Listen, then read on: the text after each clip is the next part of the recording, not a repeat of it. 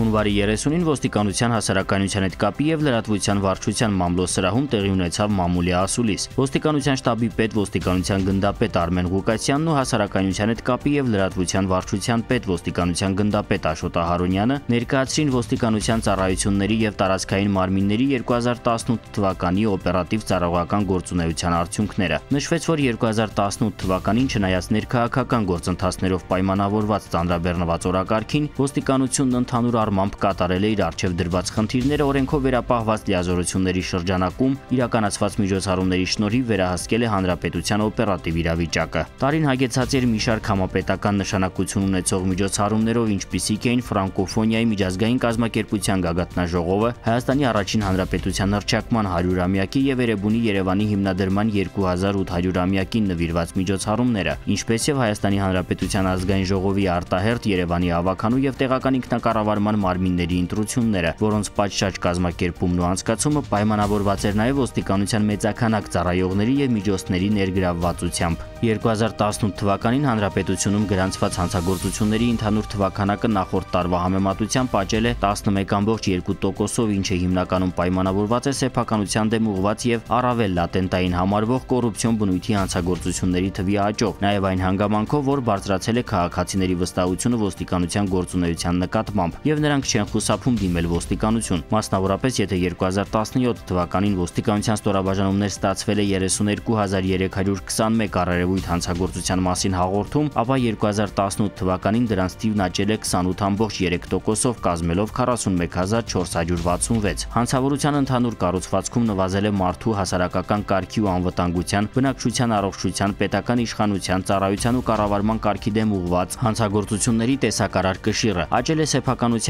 եւ որոշակիորեն նաեւ տնտեսական գործունեության դեմ ուղղված հանցագործությունների մասնաբաժինը։ Առանձնապես ցաներ հանցագործությունների թիվն աճել է 36.6% 10%-ով, ինչը հիմնականում պայմանավորված է լատենտային համարվող առանձնապես խոշոր չափերի թմրամիջոցների իրացման եւ կաշառքի դեպքերի թվի աճով։ Ծանր հանցագործությունների թվի աճը առավելապես պայմանավորված է բնակարանային գողությունների թվի աճով։ Փոխարենը նվազում է արձանագրվել հիմնական հանցատեսակների գծով։ 28.6%-ով նվազել է սպանության 8.1%-ով դիտավորության առողջությանը ծանր վնաս պատճառելու 17.6%-ով, սեռական անձեռնմխելիության դեմ ուղված 23.9%-ով համակարգչային տեխնիկայի միջոցով կատարված հափշտակության դեպքերի թիվը։ Միևնույն ժամանակ 10.4%-ով նվազել է խմբերի, ինչպես եւ անչափահասների կողմից կատարված հանցագործությունների թիվը։ 2018 թվականին հանցագործություն է կատարել 324 անչափահաս, 2017 թվականի 341-ի դիմաց։ Իրականացված լայնածավալ աշխատանքների արդյունքում կոռուպցիոն բնույթի